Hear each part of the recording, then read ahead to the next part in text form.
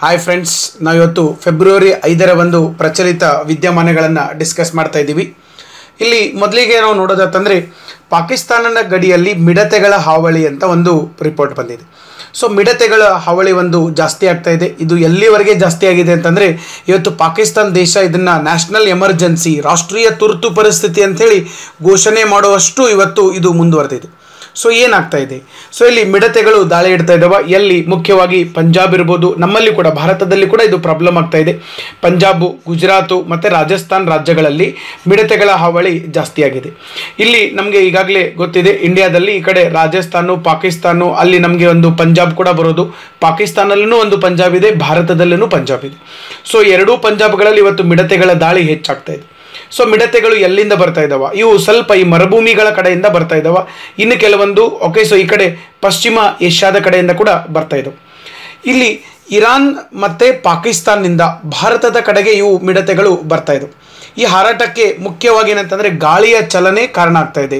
So ಈ ಗಾಳಿ ಬೀಸೋ ದಿಕ್ಕಿನೊಳಗಡೆ ಇವು ಕೂಡ ಬೀಸ್ತಾ ಬರ್ತಾ ಇರೋದು. ಇವು ದಿನದಿಂದ ದಿನಕ್ಕೆ ಇವತ್ತು ಹೆಚ್ಚಾಗ್ತಾ ಹೋಗ್ತಾ ಇದ್ದಾವೆ ಮತ್ತು ಒಂದು ವಯಸ್ಕ ಮಿಡತೆ ಇದೆ ಅಂತ ತಿಳ್ಕೊಳ್ಳೋಣ. ಒಂದು ವಯಸ್ಕ ಮಿಡತೆ ಒಂದು ದಿನಕ್ಕೆ ಒಂದು ನೂರ ಐವತ್ತು ಕಿಲೋಮೀಟರ್ ಹಾರಾಟ ಮಾಡ್ತದೆ. ಸೊ ಒಂದು ದಿವಸಕ್ಕೆ ಒಂದು ನೂರ ಐವತ್ತು ಕಿಲೋಮೀಟರ್ ಹಾರಾಟ ನಡೆಸೋದ್ರಿಂದ ಅನೇಕ ರಾಜ್ಯಗಳಲ್ಲಿ, ಅನೇಕ ದೇಶಗಳಲ್ಲಿ ಇವತ್ತು ಈ ಒಂದು ಸಮಸ್ಯೆ ತಲೆದೋರಿದೆ ಅಂತೇಳಿ ಹೇಳ್ಬೋದು. ಇನ್ನು ಒಂದು ದಿನದಲ್ಲಿ ಅಂದಾಜು ಮೂವತ್ತೈದು ಸಾವಿರ ಜನರಿಗೆ ಬೇಕಾಗುವಷ್ಟು ಆಹಾರವನ್ನು ಇವು ಕಬಳಿಸ್ತಾ ಇದ್ದವು.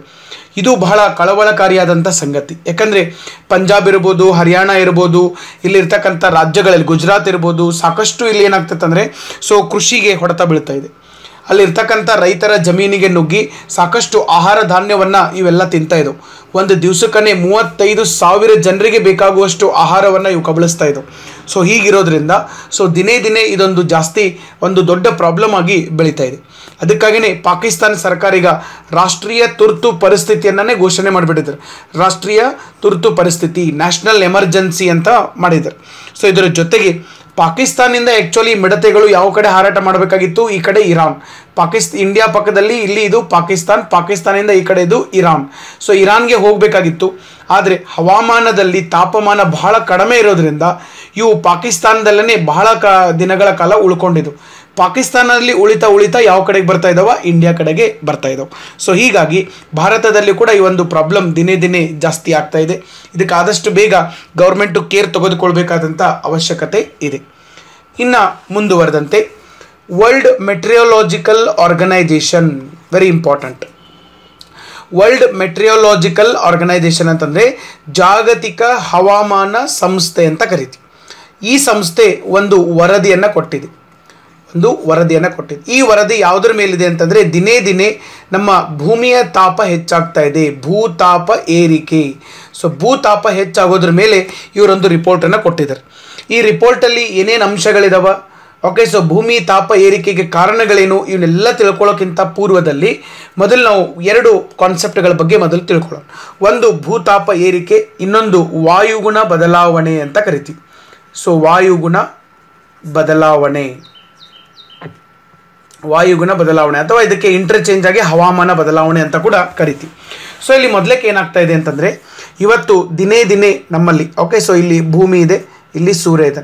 ಸೊ ಪ್ರತಿ ದಿವಸ ನಮಗೆ ಸೂರ್ಯನಿಂದ ಭೂಮಿಗೆ ಶಾಖ ಶಕ್ತಿ ಭೂಮಿಗೆ ಶಾಖ ಶಕ್ತಿ ಯಾವ ಕಿರಣಗಳ ರೂಪದಲ್ಲಿ ಬರೋದು? ಅಲ್ಟ್ರಾ ವೈಲೆಟ್ ರೇಡಿಯೇಷನ್ ರೂಪದಲ್ಲಿ ಬರೋದು.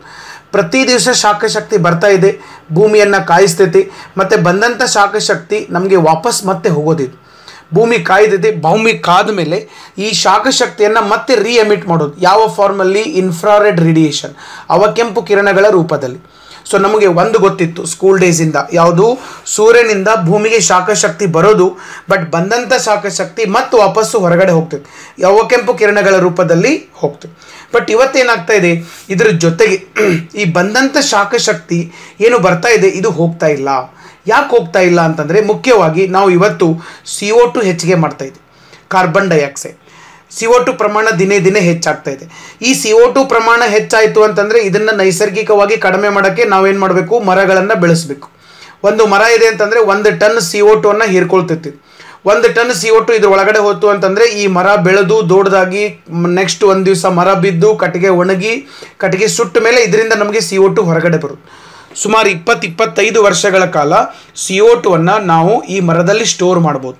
ಸೊ ಹೀಗಾಗಿ ಮರಗಳನ್ನು ಜಾಸ್ತಿ ಬೆಳೆಸಬೇಕಾಗಿತ್ತು. ಇವತ್ತು ಮರಗಳನ್ನು ಕಡಿಮೆ ಮಾಡ್ತಾ ಇದ್ದೀವಿ. ಮರಗಳನ್ನು ಕಡಿಮೆ ಮಾಡೋದ್ರಿಂದ ವಾತಾವರಣದಲ್ಲಿ ಇರ್ತಕ್ಕಂಥ ಸಿ ಒ ಟುವನ್ನು ಮರದಲ್ಲಿ ಕಳ್ಸೋಕ್ಕಾಗೋದಿಲ್ಲ ಅದರ ಜೊತೆಗೆ ಸಿ ಒ ಟು ಪ್ರಮಾಣ ಕೂಡ ದಿನೇ ದಿನೇ ಜಾಸ್ತಿ ಆಗ್ತಾ ಇದೆ. ಎರಡೂ ಕಾರಣದಿಂದ ಸಿ ಒ ಟು ಹೆಚ್ಚಾಗ್ತಾ ಇದೆ. ಮೀಥೇನ್ ಹೆಚ್ಚಾಗ್ತಾ ಇದೆ. ಕೈಗಾರಿಕೆಗಳಿಂದ, ವಾಹನಗಳ ಹೊಗೆಯಿಂದ ಮೀಥೇನ್ ಹೆಚ್ಚಾಗ್ತಾ ಇದೆ. ಇದರ ಜೊತೆಗೆ C F C chlorofluoro carbon H F C hydrofluoro carbon ಇವು ಹೆಚ್ಚಾಗ್ತಾ ಇದೆ. ಇವು ಎ ಸಿ ಏರ್ ಕಂಡೀಷ್ನರ್ಸು ಮತ್ತು ರೆಫ್ರಿಜರೇಟರಿಂದ ಬರುವಂಥದ್ದು. ಸೊ ಇವುಗಳ ಬಳಕೆ ದಿನೇ ದಿನೇ ಜಾಸ್ತಿ ಆಗ್ತಾ ಇದೆ, ಇವು ಕೂಡ ಜಾಸ್ತಿ ಆಗ್ತಾ ಇದೆ. ಸೊ ಎಲ್ಲ ಕಾರಣಗಳಿಂದ ಮಾನವನ ಅತಿಯಾದ ಈ ಒಂದು ಚಟುವಟಿಕೆಗಳಿಂದ ಏನಾಗ್ತಾ ಇದೆ, ಈ ಅನಿಲಗಳ ಪ್ರಮಾಣ ವಾತಾವರಣದಲ್ಲಿ ಹೆಚ್ಚಾಗ್ತಾ ಇದೆ. ಸೊ ಇವತ್ತು ಭೂಮಿಯ ಮೇಲೆ ಓಕೆ ಸೊ ಈ ಒಂದು ಸೂರ್ಯನ ಶಾಖ ಶಕ್ತಿ ಬರಬೇಕು, ವಾಪಸ್ ಹೋಗಬೇಕು. ಬಟ್ ಹೋಗಬೇಕಾದಾಗ ಇದು ವಾತಾವರಣದ ಮೂಲಕನೇ ಬರಬೇಕು, ವಾತಾವರಣದ ಮೂಲಕನೇ ಹೋಗಬೇಕು. ಆದರೆ ಹೋಗಬೇಕಾದಾಗ ಈ ವಾತಾವರಣದಲ್ಲಿರ್ತಕ್ಕಂಥ ಈ ಅನಿಲಗಳ ಸಂಪರ್ಕಕ್ಕೆ ಶಾಖಶಕ್ತಿ ಬಂತು ಅಂತಂದರೆ ಈ ಅನಿಲಗಳಿಗೆ ಒಂದು ಪಿಕ್ಯುಲಿಯರ್ ಆದಂಥ ಒಂದು ಕೆಪಾಸಿಟಿ ಇದೆ, ವಿಶೇಷ ಗುಣ ಇದೆ. ಏನಿದೆ ಅಂತಂದರೆ ಈ ಅನಿಲಗಳನ್ನು ಹಿಡಿದಿಟ್ಕೊಳ್ಳುವಂಥ ಸಾಮರ್ಥ್ಯ ಇದೆ. ಈ ಅನಿಲಗಳು ಶಾಖಶಕ್ತಿಯನ್ನು ಹಿಡಿದಿಟ್ಕೊಂಡ್ಬಿಡ್ತಾವೆ ಹೀಗಾಗಿ ಶಾಖಶಕ್ತಿ ಹೊರಗಡೆ ಹೋಗೋಕ್ಕೆ ಬಿಡೋದಿಲ್ಲ. ಸ್ವಲ್ಪ ಪ್ರಮಾಣದಲ್ಲಿ ಹಿಡಿದಿಟ್ಕೊಂಡು ಕೆಲವೊಂದು ಪ್ರಮಾಣದ ಶಾಖಶಕ್ತಿಯನ್ನು ಹೊರಗಡೆ ಬಿಡು. ಇದರಿಂದ ಏನಾಗ್ತಾ ಇದೆ? ಮೊದಲು ಒಂದು ನೂರು ಯೂನಿಟ್ ಸೂರ್ಯನಿಂದ ಬಂದರೆ ನೂರಕ್ಕೆ ನೂರು ಯೂನಿಟನ್ನು ವಾಪಸ್ ಹೋಗ್ತಾ ಇತ್ತು. ಬಟ್ ಇವತ್ತು ಬರೋದು ನೂರು ಯೂನಿಟ್ ಇದೆ, ಹೋಗೋದು ತೊಂಬತ್ತಾಯಿತು. ಅಂದರೆ ಹತ್ತು ಭೂಮಿಯಲ್ಲೇ ಉಳಿತಾ ಇದೆ. ಯಾಕೆ? ಈ ಅನಿಲಗಳು ಶಾಖಶಕ್ತಿಯನ್ನು ಹಿಡಿದಿಟ್ಕೋತಾ ಇದ್ದಾವ ಮತ್ತು ಈಗ ಬರೋದು ನೂರಿದೆ ಹೋಗೋದು ಅರವತ್ತಾಗಿದೆ. ಅಂದರೆ ನಲವತ್ತು ಯೂನಿಟ್ ಎಲ್ಲಿ ಸ್ಟೋರ್ ಆಗ್ತಾ ಇದೆ? ಭೂಮಿಯಲ್ಲಿ. ದಿನೇ ದಿನೇ ಭೂಮಿಯೊಳಗಡೆ ಶಾಖಶಕ್ತಿ ಸ್ಟೋರ್ ಆಗ್ತಾ ಇದೆ, ಶೇಖರಣೆ ಆಗ್ತಾ ಇದೆ. ಇದರಿಂದ ಭೂಮಿಯ ತಾಪ ಹೆಚ್ಚುತ್ತದೆ. ಇದನ್ನೇ ಭೂಮಿಯ ತಾಪ ಏರಿಕೆ ಅಥವಾ ಭೂತಾಪ ಏರಿಕೆ. ಇದನ್ನು ಇಂಗ್ಲೀಷಲ್ಲಿ ಗ್ಲೋಬಲ್ ವಾರ್ಮಿಂಗ್ ಅಂತ ಕರಿತೀವಿ. ಈಗ ಇದು ಅರ್ಥ ಆಯ್ತು ಅಂತೇಳಿ ನಾನು ಭಾವಿಸ್ತೇನೆ ಸೊ ದಿನೇ ದಿನೇ ಗ್ಲೋಬಲ್ ವಾರ್ಮಿಂಗ್ ಜಾಸ್ತಿ ಆಗ್ತಾ ಇದೆ. ಸೊ ಗ್ಲೋಬಲ್ ವಾರ್ಮಿಂಗ್ ಆಗೋದ್ರಿಂದ ಏನು ಪ್ರಾಬ್ಲಮ್ ಆಗೋದು? ಮುಖ್ಯವಾಗಿ ಭೂಮಿಯ ಮೇಲೆ ನಮಗೆ ಎರಡು ಪ್ರದೇಶಗಳಿದೆ. ಒಂದು ಆರ್ಟಿಕ್ ಪ್ರದೇಶ ಇನ್ನೊಂದು ಅದರ ವಿರುದ್ಧವಾಗಿ Antarctic that is Antarctica ಈ ಆರ್ಟಿಕಲ್ ಇರ್ಬೋದು ಮತ್ತು ಅಂಟಾರ್ಟಿಕಲ್ ಇರ್ಬೋದು. ಎರಡೂ ಕಡೆ ಏನಿದಾವ? ಮಂಜುಗಡ್ಡೆ ಇದೆ. ಈ ಮಂಜುಗಡ್ಡೆ ಏನಾಗೋದು? ಭೂಮಿಯ ತಾಪ ಏರಕತ್ತು ಅಂತಂದರೆ ಮಂಜುಗಡ್ಡೆ ಕರಗಕ್ಕೆ ಶುರುವಾಗ್ತದೆ ಈ ಮಂಜುಗಡ್ಡೆ ಕರಗಕತ್ತು ಅಂತಂದರೆ ನದಿ, ಹೊಳೆ, ಹಳ್ಳ, ಸಮುದ್ರಗಳ ಮೂ, ಸಮುದ್ರವನ್ನು ಸೇರೋದು. ಸಮುದ್ರದ ಮಟ್ಟ ಹೆಚ್ಚಾಗ್ತಾ ಹೋಗ್ತದೆ. ಸಮುದ್ರದ ಮಟ್ಟ ಹೆಚ್ಚಾಯಿತು ಅಂತಂದರೆ ಸಮುದ್ರದ ಮಟ್ಟಕ್ಕೆ ಅತ್ಯಂತ ಕೆಳಭಾಗದಲ್ಲಿರುವಂಥ ಪ್ರದೇಶಗಳು ಮುಳುಗಡೆ ಆಗ್ತಾ ಹೋಗ್ತವ. ಈಗಾಗಲೇ ನಿಮಗೆ ಒಂದು ಪಾಯಿಂಟ್ ಇಲ್ಲಿ ಗಮನದಲ್ಲಿ ಇಟ್ಕೊಂಡಿರಬೇಕು. ವಿಶ್ವದ ಮೂರು ನಗರಗಳು ಈಗಾಗಲೇ ಈ ಒಂದು ಪ್ರಾಬ್ಲಮನ್ನು ಅನುಭವಿಸ್ತಾ ಇದ್ದವು. ಒಂದು ಇಟಲಿಯಲ್ಲಿರ್ತಕ್ಕಂಥ ವೆನಿಸ್ ನಗರ, ಇನ್ನೊಂದು ಇಂಡೋನೇಷ್ಯಾದ ರಾಜಧಾನಿ ಜಕಾರ್ತ, ಇನ್ನೊಂದು ಥಾಯ್ಲೆಂಡ್ನ ರಾಜಧಾನಿ ಬ್ಯಾಂಕಾಕ್. ಸೊ ವೆನಿಸ್ ಇರ್ಬೋದು, ಜಕಾರ್ತ ಇರ್ಬೋದು, ಬ್ಯಾಂಕಾಕ್ ಇರ್ಬೋದು. ಈಗಾಗಲೇ ಭೂತಾಪ ಏರಿಕೆಯಿಂದ ಸುಮಾರು ಒಂದು ಫೂಟ್ ನೀರು ಇವತ್ತು ಈ ನಗರಗಳಲ್ಲಿ ಬಂದಿದೆ, ಬಟ್ ಹೊಳ್ಳಿ ವಾಪಸ್ ಹೋಗ್ತಾ ಇಲ್ಲ. ಅಂದರೆ ಇದೊಂದು ದೊಡ್ಡ ಒಂದು ದುರಂತ ಆಗುವಂಥ ಸಂಭವಗಳು ಇದಾವ. ಇತ್ತೀಚೆಗೆ ಪ್ರಜಾವಾಣಿ ಪೇಪರಲ್ಲಿ ಫ್ರಂಟ್ ಪೇಜಲ್ಲಿ ಸಾಕಷ್ಟು ಸರಿ ಆರ್ಟಿಕಲನ್ನು ಕೊಟ್ಟಿದ್ದಾರೆ ಏನಂತೇಳಿ, ಮಂಗಳೂರು ಮತ್ತು ಮುಂಬೈ, ಕರಾವಳಿ ಪ್ರದೇಶಗಳು ಇನ್ನು ಕೆಲವು ದಿನಗಳಲ್ಲಿ ಮುಳುಗ್ತವೆ. ಯಾಕಂತಂದರೆ ಸಮುದ್ರದಲ್ಲಿ ನೀರು ಹೆಚ್ಚಾಗ್ತಾ ಇದೆ. ಆ ನೀರು ಎಲ್ಲಿಂದ ಬರ್ತಾ ಇದೆ? ಆರ್ಟಿಕ್ ಮತ್ತು ಅಂಟಾರ್ಟಿಕಾದ ಮಂಜುಗಡ್ಡೆ ಕರಗಿ ಸಮುದ್ರದ ಮಟ್ಟ ಹೆಚ್ಚಾಗ್ತಾ ಇದೆ. ಮತ್ತು ಈ ಮಂಜುಗಡ್ಡೆ ಯಾಕೆ ಕರಗ್ತಾ ಇದೆ? ಭೂಮಿಯ ತಾಪಮಾನ ಹೆಚ್ಚಾಗ್ತಾ ಇದೆ. ಭೂಮಿಯ ತಾಪಮಾನ ಯಾಕೆ ಹೆಚ್ಚಾಗ್ತಾ ಇದೆ? ಸಿ ಪ್ರಮಾಣ ಜಾಸ್ತಿ ಆಗ್ತಾ ಇದೆ. ಸೊ ಈಗ ನಿಮಗೆ ಭೂತಾಪ ಏರಿಕೆ ಅಂದ್ರೆ ಏನಂತೇಳಿ ಗೊತ್ತಾಯ್ತು. ಸೊ ಭೂತಾಪ ಏರಿಕೆಯಿಂದ ವಾಯುಗುಣ ಬದಲಾವಣೆ ಅಥವಾ ಹವಾಮಾನ ಬದಲಾವಣೆ ಆಗ್ತಾ ಇದೆ. ಅಂದರೆ ಏನು? ಅಂದರೆ ಸರಿಯಾದ ಟೈಮ್ ಟು ಟೈಮ್ ಮಳೆ, ಬೆಳೆ ಆಗ್ತಾ ಇಲ್ಲ. ಸೊ ಮಳೆಗಾಲದಲ್ಲಿ ಸಿಕ್ಕಾಪಟ್ಟೆ ಬಿಸಿಲಿರೋದು, ಬೇಸಿಗೆ ಕಾಲದಲ್ಲಿ ಮಳೆ ಆಗೋದು, ಅಕಾಲಿಕ ಮಳೆ, ಅಕಾಲಿಕ ಬರಗಾಲ, ಅಂದರೆ ಟೆಂಪ್ರೇಚರ್ ಜಾಸ್ತಿ ಆದಂಗೆ ಭೂಮಿ ತನ್ನ ಒಂದು ಪೇಷನ್ಸನ್ನು ಕಳ್ಕೊತಾ ಇದೆ. ಈಗ ನಾವು ಕೂಡ ಕೂಲ್ ಆಗಿದ್ದಷ್ಟು ನಮ್ಮ ಹೊರಗಡೆ ಔಟ್ಪುಟ್ ಜಾಸ್ತಿ ಇರ್ತೈತೆ. ನಾವು ಒಳಗಡೆ ಟೆಂಪ್ರೇಚರ್ ಜಾಸ್ತಿ ಆಯಿತು ಟೆನ್ಷನ್ ಆಯಿತು ಸೊ ಆಟೋಮೆಟಿಕಲಿ ಔಟ್ಪುಟ್ಟು ಎಫೆಕ್ಟ್ ಆಗೋದು. ಇದೇ ಥರ ಭೂಮಿಯ ಒಂದು ತಾಪಮಾನ ಜಾಸ್ತಿ ಆಗಿ ಭೂಮಿಯ ಬಿಹೇವಿಯರ್ ಚೇಂಜ್ ಆಗ್ತಾ ಇದೆ. ಸರಿಯಾಗಿ ಮಳೆಗಾಲ, ಬೇಸಿಗೆ ಕಾಲ, ಚಳಿಗಾಲ ಬರ್ತಾ ಇಲ್ಲ. ಸೊ ಚಳಿಗಾಲದಲ್ಲಿ ಸಿಕ್ಕಾಪಟ್ಟೆ ಬಿಸಿಲಿರೋದು, ಬೇಸಿಗೆ ಕಾಲದಲ್ಲಿ ಸಾಕಷ್ಟು ಮಳೆ ಆಗೋದು. ಮಳೆ ಬಂತು ಅಂತಂದರೆ ಸಿಕ್ಕಾಪಟ್ಟೆ ಕೆಲವೊಂದು ಊರಿಗೆ, ಊರೇನೆ ಕೊಚ್ಕೊಂಡು ಹೋಗುವಷ್ಟು ಮಳೆ ಆಗೋದು. ಆಗಲಿಲ್ಲ ಅಂತಂದರೆ ಒಂದು ಹನಿನೂ ಮಳೆ ಆಗೋದಿಲ್ಲ. ಇವೆಲ್ಲ ಅಕಾಲಿಕ ಮಳೆ, ಅಕಾಲಿಕ ಬರಗಾಲಗಳು. ಬರೋ ಕಾರಣ ಏನಂತಂದರೆ ವಾಯುಗುಣ ಬದಲಾವಣೆ. ಮೂವತ್ತು, ನಲವತ್ತು ವರ್ಷದ ಸರಾಸರಿ ಏನಾಗ್ತಾ ಇದೆ? ಬದಲಾಗ್ತಾ ಇದೆ.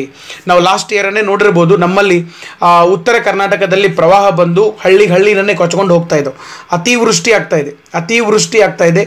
ಈ ಕಡೆ ಚಿಕ್ಕಬಳ್ಳಾಪುರ ಇರ್ಬೋದು, ಕೋಲಾರ ಇರ್ಬೋದು, ಅಲ್ಲಿ ಡಿ ಸಿಗಳು ಹೇಳ್ತಾ ಇದ್ದಾರೆ, ನಮಗಿಲ್ಲಿ ಮಳೆನೇ ಆಗಿಲ್ಲ, ನಾವು ಇಲ್ಲಿ ಮೋಡ ಬಿತ್ತನೆ ಮಾಡ್ತೀವಿ ಅಂತೇಳಿ ಅಂದರೆ ಒಂದು ಕಡೆ ಅತಿವೃಷ್ಟಿ, ಇನ್ನೊಂದು ಕಡೆ ಅನಾವೃಷ್ಟಿ. ಸೊ ಇದು this is the perfect effect of the climate change ಇದು ಇವತ್ತು ನಡೀತಾ ಇದೆ. ಸೊ ಇದ್ರ ಬಗ್ಗೆನೇ ಇವತ್ತು ಜಾಗತಿಕ ಹವಾಮಾನ ಸಂಸ್ಥೆ ಒಂದು ವರದಿಯನ್ನು ನೀಡಿದೆ. ಸೊ ಏನು ಹೇಳ್ತಾ ಇದ್ದಾರೆ ವರದಿ ಒಳಗಡೆ? ಈಗ ನಿಮಗಿದು ವರದಿಯಲ್ಲಿರ್ತಕ್ಕಂಥ ಪಾಯಿಂಟ್ಸನ್ನು ಓದಿದರೆ ಬಹಳ ಸ್ಪಷ್ಟವಾಗಿ ಅರ್ಥ ಆಗ್ತಾ ಹೋಗ್ತು.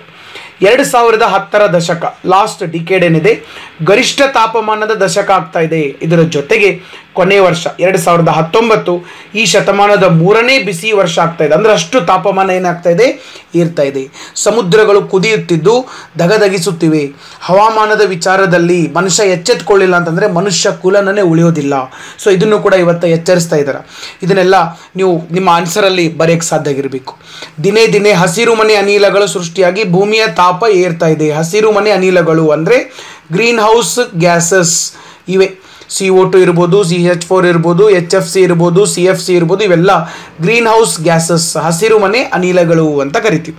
ಸೊ ಸಮುದ್ರದಲ್ಲಿನ ವೈಪರೀತ್ಯಗಳಿಂದಾಗಿ ಎರಡು ಸಾವಿರದ ಹತ್ತೊಂಬತ್ತರ ಮೊದಲಾರ್ಧದಲ್ಲಿ ಹತ್ತು ದಶಲಕ್ಷ ಜನ ಸ್ಥಳಾಂತರಗೊಂಡಿದ್ದರು.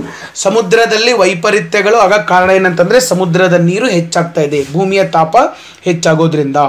ಇದರಲ್ಲಿ ಈ ಹತ್ತು ಲಕ್ಷ ಜನ ಏನು ಸ್ಥಳಾಂತರಗೊಂಡಿದ್ದಾರೆ ಇದರಲ್ಲಿ ಏಳು ದಶಲಕ್ಷ ಮಂದಿ ಪ್ರವಾಹ ಮತ್ತು ಚಂಡಮಾರುತದಂಥ ಕಾರಣಗಳಿಂದ ನೆಲೆ ಕಳೆದುಕೊಂಡಿದ್ದಾರೆ ಮುಂದಿನ ದಿನಗಳಲ್ಲಿ ಈ ಒಂದು ಪ್ರಮಾಣ ಇನ್ನೂ ಜಾಸ್ತಿ ಆಗ್ತದೆ ಅಂತೇಳಿ ಇಲ್ಲಿ ಜಾಗತಿಕ ಹವಾಮಾನ ಸಂಸ್ಥೆ ಹೇಳ್ತಾ ಇದೆ. ಇದರ ಜೊತೆಗೆ ಬಿಸಿ ಗಾಳಿ ಬಿಸಿ ಗಾಳಿ ಅಂತಂದರೆ ಹೀಟ್ ವೇವ್ ಅಂತ ಕರಿತೀವಿ. ಬಿಸಿ ಗಾಳಿ ಬೀಸಕತ್ತೀವಿ ಅಂತಂದರೆ ಮನುಷ್ಯನಲ್ಲಿ ನಿರ್ಜಲೀಕರಣ ಬರೋದು, ಇರೋ ನೀರನ್ನು ತೊಗೊಂಡು ಹೋಗೋದು ಬಹಳ ಕೆಟ್ಟದು ಬಿಸಿ ಗಾಳಿ. ಇದರ ಜೊತೆಗೆ ಪ್ರವಾಹ ಫ್ರಿಕ್ವೆಂಟ್ ಫ್ಲಡ್ಸ್ ಇವತ್ತೇನಾಗಿದ್ದಾವ ಸಾಮಾನ್ಯ ಆಗ್ಬಿಟ್ಟಿದ್ದು ಮೊದಲೆಲ್ಲ ಹದಿನೈದು, ಇಪ್ಪತ್ತು ವರ್ಷಕ್ಕೊಮ್ಮೆಮ್ಮೆ ಪ್ರವಾಹಗಳು ಬರ್ತಿದ್ದು ಪ್ರವಾಹಗಳು ಬಂದಾಗ ಮನೆ ಒಳಗಡೆ ಆ ತಂದೆ, ತಾಯಿ ಮಾತಾಡ್ತಾ ಇದ್ರು. ನಾವು ಇಪ್ಪತ್ತು ವರ್ಷದ ಕೆಳಗಡೆ ಇಂಥ ಪ್ರವಾಹ ನೋಡಿದ್ದೀವಿ ನಾವು ಸಮ್ಮ, ಸಣ್ಣವರಿದ್ದಾಗ ಇಂತ ಇಷ್ಟು ದೊಡ್ಡ ಪ್ರವಾಹ ಬಂದಿತ್ತು ಅಂತೇಳಿ. ಈಗ ಹಂಗಿಲ್ಲ. ಹೋದ ವರ್ಷನೇ ಪ್ರವಾಹ ಬಂದಿತ್ತು, ಈ ವರ್ಷ ಮತ್ತೆ ಬಂದಿದೆ ಅಂತ ಜನ ಸಾಮಾನ್ಯವಾಗಿ ಮಾತಾಡ್ತಾ ಇದ್ದಾರೆ. ಏಕೆಂದರೆ ಹೋದ ವರ್ಷ ಕೊಡಗುದಲ್ಲಿ ಬಂದಿತ್ತು, ಈ ವರ್ಷ ಉತ್ತರ ಕರ್ನಾಟಕದಲ್ಲಿ ಬಂದಿತ್ತು, ಮುಂದಿನ ವರ್ಷ ಮತ್ತೊಂದು ಕಡೆ. ಪ್ರತಿ ವರ್ಷ ಇವತ್ತು ಸಾಮಾನ್ಯ ಆಗಿಬಿಟ್ಟಿದ್ದವು ಪ್ರವಾಹ ಚಂಡಮಾರುತಗಳು ಅದರಲ್ಲಿಯೂ ನಮ್ಮ ಭಾರತದ ಕರಾವಳಿಯನ್ನು ನೀವು ತಗೊಂಡ್ರೆ ಸಾಕಷ್ಟು ಚಂಡಮಾರುತಗಳು ಓಕಿ ಚಂಡಮಾರುತ ಗಜ ಚಂಡಮಾರುತ ತಿತ್ಲಿ ಚಂಡಮಾರುತ ವಾಯು ಚಂಡಮಾರುತ ಪೇತಾಯಿ ಚಂಡಮಾರುತ ವಾರ್ಧಾ ಚಂಡಮಾರುತ ಸೊ ಸಾಕಷ್ಟು ಚಂಡಮಾರುತಗಳು ದಿನೇ ದಿನೇ ಇವತ್ತು ಹೆಚ್ಚಾಗ್ತಾ ಇದ್ದವು. ಅದರಲ್ಲಿನೂ ಆಂಧ್ರ ಪ್ರದೇಶದ ಕರಾವಳಿಗೆ ಅತಿ ಹೆಚ್ಚು ಚಂಡಮಾರುತಗಳು ಅಪ್ಪಳಿಸ್ತಾ ಇದ್ದವು. ಸೊ ಇದೆಲ್ಲ ಯಾವುದರ ಕಾರಣ ಅಂತಂದರೆ ಜಾಗತಿಕವಾಗಿ ಹವಾಮಾನ ಬದಲಾವಣೆ ಆಗ್ತಾ ಇದೆ. ಇದರ ಜೊತೆಗೆ ಇನ್ನೊಂದು ರಿಪೋರ್ಟ್ ಹೇಳ್ತಾ ಇದ್ದಾರೆ. ಆರ್ಟಿಕ್ ಮತ್ತು ಅಂಟಾರ್ಟಿಕ್ ಸಮುದ್ರಗಳಲ್ಲಿ ಮಂಜುಗಡ್ಡೆ ಕರಗ್ತಾ ಇದೆ ಅಂತ ನಾವು ಈಗಾಗಲೇ ನೋಡಿದ್ದೀವಿ. ಆ ತಿರು ಕರಗುವಂಥ ಪ್ರಮಾಣ ಇನ್ನೂ ಹೆಚ್ಚಾಗಿದೆ ಅಂತೇಳಿ ಇಲ್ಲಿ ರಿಪೋರ್ಟು ಹೇಳ್ತಾ ಇದೆ. ಇನ್ನು ಮುಂದುವರೆದಂತೆ. ಎಂಟುನೂರ ಇಪ್ಪತ್ತು ದಶಲಕ್ಷ ಜನ ಇವತ್ತು ವಿಶ್ವದಾದ್ಯಂತ ಹಸಿವಿನಿಂದ ಬಳಲ್ತಾ ಇದ್ದಾರೆ ಅದಕ್ಕೆ ಹವಾಮಾನ ಬದಲಾವಣೆನೇ ಮುಖ್ಯ ಕಾರಣ. ಯಾಕಂದರೆ ಹವಾಮಾನ ಬದಲಾವಣೆಯಿಂದ ಚಂಡಮಾರುತಗಳು, ಪ್ರವಾಹಗಳು ಬಂದು ಮನೆ ಮಠ ಕಳ್ಕೊತಾರ ಎಕನಾಮಿ ಡೌನ್ ಆಗೋದು, ಇದರಿಂದ ತಿನ್ನಕ್ಕೆ ಆಹಾರ ಕೂಡ ಇಲ್ಲದೆ ಜನ ಇವತ್ತು ಪರಿತಪಿಸ್ತಾ ಇದ್ದಾರೆ ಸೊ ಇದನ್ನು ಕೂಡ ಜಾಗತಿಕ ಹವಾಮಾನ ಸಂಸ್ಥೆಯಲ್ಲಿ ಹೇಳ್ತಾ ಇದೆ. ಇದರ ಜೊತೆಗೆ ಕಳೆದ ಒಂದು ವರ್ಷದಲ್ಲಿ ಮೂರ್ನೂರ ಇಪ್ಪತ್ತೊಂಬತ್ತು ಶತಕೋಟಿ ಟನ್ ಮಂಜುಗಡ್ಡೆ ಏನಾಗಿದೆ ಕರಗೋಗಿದೆ. So this is the very important data ನೀವು ಇದನ್ನು ಯೂಸ್ ಮಾಡಲೇಬೇಕು. ನೆಕ್ಸ್ಟು ಈ ಶತಮಾನದ ಅಂತ್ಯಕ್ಕೆ, ಅಂದರೆ ಎರಡು ಸಾವಿರದ ಒಂದು ನೂರನೇ ಇಸ್ವಿಗೆ, ಜಾಗತಿಕ ತಾಪಮಾನ ಮೂರು ಡಿಗ್ರಿ ಸೆಲ್ಸಿಯಸ್ನಷ್ಟು ಹೆಚ್ಚಾಗುವಂಥ ಸಾಧ್ಯತೆಗಳಿದು. ಈಗ ಸದ್ಯ ಸರಾಸರಿ ಜಾಗತಿಕ ತಾಪಮಾನ ಹದಿನಾಲ್ಕು ಡಿಗ್ರಿ ಸೆಲ್ಸಿಯಸ್ ಇದೆ. ಇದು ಮೂರು ಡಿಗ್ರಿ ಸೆಲ್ಸಿಯಸ್ ಜಾಸ್ತಿ ಆಗೋದು. ಅಂದರೆ ಸುಮಾರು ಹದಿನೇಳು ಡಿಗ್ರಿ ಸೆಲ್ಸಿಯಸ್ ಆಗೋದು. ಇದು ಆಯ್ತಂದರೆ ಇನ್ನೂ ಸಮುದ್ರ ಮಟ್ಟ ಹೆಚ್ಚಾಗಿ ಜನಜೀವನ ಅಸ್ತವ್ಯಸ್ತ ಆಗುವಂಥ ಸಾಧ್ಯತೆಗಳಿದೆ. ಮತ್ತು ಇದಕ್ಕೆ ಕಾರಣಗಳನ್ನು ಕೂಡ ಇಲ್ಲಿ ಸಂಸ್ಥೆ ತಿಳಿಸಿದೆ. ಅತಿಯಾದ ಇಂಧನಗಳ ಬಳಕೆ. ಅದರಲ್ಲೂ ಫಾಸಿಲ್ ಫ್ಯೂಯಲ್ಸ್ ಪೆಟ್ರೋಲಿಯಂ ಇಂಧನಗಳನ್ನು ನಾವು ಸಾಕಷ್ಟು ಬಳಸ್ತಾ ಇದ್ದೀವಿ. ನಗರೀಕರಣ ಆಗ್ತಾ ಇದೆ, ಕಾಡು ನಾಶ ಆಗ್ತಾ ಇದೆ. ಸೊ ಇದೆಲ್ಲದರಿಂದ ಮತ್ತು ನಮ್ಮ ಬೆಳೆಯ ಪದ್ಧತಿಯಲ್ಲಿ ಬದಲಾವಣೆಗಳಾಗ್ತಾ ಇದ್ದವು. ಇದು ಕೂಡ ಕಾರಣ ಆಗ್ತಾ ಇದೆ. ಇವತ್ತೇನಾಗ್ತಾ ಇದೆ? ಹವಾಮಾನ ಬದಲಾವಣೆ, ವಾಯುಗುಣ ಬದಲಾವಣೆಯಿಂದಾಗಿ ಬೆಳೆ ಪದ್ಧತಿಗಳು ಡೈವರ್ಸಿಟಿ ಜೀವ ವೈವಿಧ್ಯತೆ ಕಡಿಮೆ ಆಗ್ತಾ ಇದೆ. ಜೀವ ವೈವಿಧ್ಯತೆ. ಇದು ಕೂಡ ಮನುಷ್ಯನ ಎಕ್ಸಿಸ್ಟೆನ್ಗೆ ಕುತ್ತು ತರ್ತಾ ಇದೆ. ಆಹಾರಗಳಲ್ಲಿ ನಾನಾ ರೀತಿಯ ಆಹಾರಗಳಿದು ಆದರೆ ಇವತ್ತೇನಾಗ್ತಾ ಇದೆ? ಆಹಾರ ಅಂತಂದರೆ ಗೋಧಿ, ಅಕ್ಕಿ, ಕೆಲವೇ ಕೆಲವು ಐಟಮ್ಗಳು ಉಳ್ಕೊಂಡ್ಬಿಟ್ಟಿದ್ದು ಇವತ್ತು ಸಾವೆ ಇರ್ಬೋದು ನವಣೆ ಇರ್ಬೋದು, ಅಥವಾ ವರದ ಇರ್ಬೋದು. ಸೊ ಸಾಕಷ್ಟು ಈ ರೀತಿಯಾದಂಥ ಸಿರಿಧಾನ್ಯಗಳಿದಾವೆ. ಇದನ್ನು ಜನ ಬಳಸ್ತಾನೇ ಇಲ್ಲ. ಮತ್ತು ಭೂಮಿಯೊಳಗಡೆ ಅದು ಬೆಳೀತಾನೂ ಇಲ್ಲ. ಯಾಕಂದರೆ ಭೂಮಿ ತನ್ನ ಫಲವತ್ತತೆಯನ್ನು ಕಳ್ಕೊಳ್ತಾ ಇದೆ. ಸಿಕ್ಕಾಪಟ್ಟೆ ನಾವು ಕೆಮಿಕಲ್ಸನ್ನು ಆ್ಯಡ್ ಮಾಡ್ತಾ ಇದ್ವಿ. ಯಾವಾಗ ಕೆಮಿಕಲ್ಸು ಭೂಮಿಗೆ ಆ್ಯಡ್ ಆಗೋಕ್ಕೆ ಶುರು ಅದು ಅವತ್ತು ಭೂಮಿಯ ಫಲವತ್ತತೆ ಕಡಿಮೆ ಆಗ್ತಾ ಹೋಯಿತು. ಭೂಮಿಯ ಫಲವತ್ತತೆ ಕಡಿಮೆ ಆಯಿತು, ಆಹಾರ ತನ್ನ ರುಚಿಯನ್ನು, ಪೌಷ್ಟಿಕಾಂಶಗಳನ್ನು ಕಳ್ಕೊಳ್ತಾ ಹೋಯಿತು, ಜನ ಆರೋಗ್ಯವನ್ನು ಕಳ್ಕೊಳ್ತಾ ಬರ್ತಾ ಇದ್ದಾರೆ. ಇವತ್ತು ಸಾರಿಗೆ ಸೌಲಭ್ಯಗಳು ಗಣನೀಯವಾಗಿ ಏರಿಕೆಯಾಗಿದವ, ಇದರಿಂದನೂ ಕೂಡ ಹವಾಮಾನ ಬದಲಾವಣೆಗೆ ಸಾಕಷ್ಟು ಹೊಡೆತ ಬೀಳ್ತಾ ಇದೆ. ಸೊ ಇವೆಲ್ಲ ಕಾರಣಗಳಿಂದ ಇವತ್ತು ಸೊ ಇಡೀ ನಮ್ಮ ದೇಶದ ಅಥವಾ ಇಡೀ ಜಗತ್ತಿಗೆ ಒಂದು ದೊಡ್ಡ ಗಂಡಾಂತರ ಬಂದಿದೆ ಅಂತೇಳಿ ಜಾಗತಿಕ ಹವಾಮಾನ ಸಂಸ್ಥೆ ಎಚ್ಚರ ವಹಿಸ್ತಾ ಇದೆ. ಈ ಒಂದು ಪಾಯಿಂಟ್ಸ್ಗಳನ್ನು ನೀವು ನಿಮ್ಮ ಆನ್ಸರ್ ರೈಟಿಂಗಲ್ಲಿ ಅಥವಾ ಎಸ್ ಎ ರೈಟಿಂಗಲ್ಲಿ ತಪ್ಪದೇ ಬರೆಯೋಕ್ಕೆ ಸಾಧ್ಯ ಆಗಿರಬೇಕು. ಯಾಕಂದರೆ ಇವೆಲ್ಲ report ಕೊಟ್ಟಿದ್ದಾರು world meteorological organisation world meteorological organisation ಇತ್ತೀಚೆಗೆ ಈ ರೀತಿ ಅಭಿಪ್ರಾಯ ಪಟ್ಟರು ಅಂತೇಳಿ ಒಂದು ಪಾಯಿಂಟ್ ಹಾಕಿ ನೀವು ಬರೆದು ಅದಕ್ಕೊಂದು ಇನ್ನೋವೇಟೆಡ್ ಕಾಮ ಹಾಕಿಬಿಟ್ರಿ ಅಂತಂದರೆ ನೀವು ಬ್ಯಾಡ್ ಅಂದರೂ ಮಾರ್ಕ್ಸ್ ಬರ್ತವೆ ಮೇನ್ಸಲ್ಲಿ ಸೊ ಇನ್ನು ಜಾಗತಿಕ ಹವಾಮಾನ ಸಂಸ್ಥೆ ಬಗ್ಗೆ ಒಂದು ಎರಡು ಪಾಯಿಂಟ್ ನೋಡೋಣ. ಯಾವಾಗ ಸ್ಥಾಪನೆ ಆಯಿತು? ಸರ್, ಇದು ಸ್ಥಾಪನೆ ಆಗಿದ್ದು ಮಾರ್ಚ್ ಇಪ್ಪತ್ತ್ಮೂರು ಹತ್ತೊಂಬತ್ತು ನೂರ ಐವತ್ತು. ಮತ್ತು ಇದರದ್ದು ಕೇಂದ್ರ ಕಚೇರಿಯಲ್ಲಿದೆ, ಸ್ವಿಟ್ಜರ್ಲೆಂಡ್ನ ಜೆನೆವಾದಲ್ಲಿದೆ. ಇನ್ನು ವಿಶ್ವಸಂಸ್ಥೆಯ ನಿಯೋಗಿ ಸಂಸ್ಥೆ ಇದು, specialised agency of United Nation ಅಂತ ಕರಿತೀವಿ. ಇದರದ ಪ್ರಸ್ತುತ ಅಧ್ಯಕ್ಷರು ಯಾರಿದಾರ ಗೆರ್ಹಾರ್ಡ್ ಅಡ್ರಿಯಾನ್, ಇವರು ಇದರದ್ದು ಪ್ರಸ್ತುತ ಅಧ್ಯಕ್ಷರು. ಇವಿಷ್ಟು ನೀವು ನೆನ್ಪಿಟ್ಕೊಳ್ಳೋಕ್ಕೆ ಸಾಧ್ಯ ಇರಬೇಕು ಇನ್ನು ನೆಕ್ಸ್ಟು, ಈಗಾಗಲೇ ನಮ್ಮ ರಾಜ್ಯ ಸರ್ಕಾರಗಳಿಗೆ ಸುಪ್ರೀಂ ಕೋರ್ಟ್ ಒಂದು ನಿರ್ದೇಶನಗಳನ್ನು ನೀಡಿದೆ. ಯಾವ ರೀತಿ, ಯಾವ ಪ್ರ ಇದರ ಪ್ರಕಾರ ನಿರ್ದೇಶನ ನೀಡಿದೆ ಅಂತಂದರೆ ಈ ವಿಷಯಕ್ಕೆ ಸಂಬಂಧಿಸಿದಂಗೆ ಗ್ರಾಮ ನ್ಯಾಯಾಲಯ. ಗ್ರಾಮ ನ್ಯಾಯಾಲಯ ಅಥವಾ ಇವನ್ನ ವಿಲೇಜ್ ಕೋರ್ಟ್ ಅಂತ ಕೂಡ ಕರಿತೀವಿ. ಸೊ ಗ್ರಾಮ ನ್ಯಾಯಾಲಯ ಸ್ಥಾಪನೆಗೆ ಒಂದು ಕಾಯ್ದೆಯನ್ನು ತೊಗೊಂಬಂದರು. ಎರಡು ಸಾವಿರದ ಎಂಟರಲ್ಲಿ. ಇದರಡಿಯಲ್ಲಿ ಗ್ರಾಮ ನ್ಯಾಯಾಲಯಗಳನ್ನು ಸ್ಥಾಪನೆ ಮಾಡಬೇಕು ಕೋರ್ಟ್ಗಳನ್ನು ಸ್ಥಾಪನೆ ಮಾಡಬೇಕು. ಆದರೆ ಇನ್ನೂವರೆಗೆ ಸ್ಥಾಪನೆ ಮಾಡಿಲ್ಲ. ಅದಕ್ಕೆ ಈಗಾಗಲೇ ಸುಪ್ರೀಂ ಕೋರ್ಟ್ ಎಲ್ಲ ರಾಜ್ಯ ಸರ್ಕಾರಗಳಿಗೆ ನಾಲ್ಕು ವಾರಗಳ ಗಡುವನ್ನು ಕೊಟ್ಟಿದ್ದಾರೆ. ನಾಲ್ಕು ವಾರ ಒಳಗಡೆ ನೀವು ಅದನ್ನು ಸ್ಥಾಪನೆ ಮಾಡಬೇಕಂತೇಳಿ ಒಂದು ನೋಟಿಫಿಕೇಶನ್ ಅಧಿಸೂಚನೆಯನ್ನು ಕೊಟ್ಟಿದ್ದಾರೆ. ಇಲ್ಲಿ ಕೆಲವು ರಾಜ್ಯಗಳ ಹೆಸರನ್ನು ಕೂಡ ಉಲ್ಲೇಖ ಮಾಡಿದ್ದಾರೆ ಕೇರಳ ಇರ್ಬೋದು, ಮಹಾರಾಷ್ಟ್ರ ಇರ್ಬೋದು, ರಾಜಸ್ಥಾನ ಇರ್ಬೋದು, ಈ ರಾಜ್ಯಗಳನ್ನು ಹೊರತುಪಡಿಸಿ ಬೇರೆ ರಾಜ್ಯಗಳಲ್ಲಿ ಗ್ರಾಮ ನ್ಯಾಯಾಲಯಗಳು ಅಷ್ಟಾಗಿ ಸರಿಯಾಗಿ ಕಾರ್ಯನಿರ್ವಹಿಸ್ತಾ ಇಲ್ಲ. ಸೊ ಹೀಗಾಗಿ ನೀವು ಇದನ್ನು ಮಾಡಬೇಕು.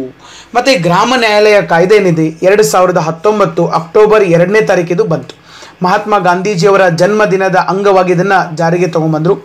ಯಾಕಂದರೆ ಗ್ರಾಮ ಸ್ವರಾಜ್ಯ, ಗ್ರಾಮ ನ್ಯಾಯ, ಇದರಲ್ಲಿ ಬಹಳ ನಂಬಿಕೆ ಇಟ್ಟಂಥ ವ್ಯಕ್ತಿ ಮಹಾತ್ಮ ಗಾಂಧೀಜಿಯವರು.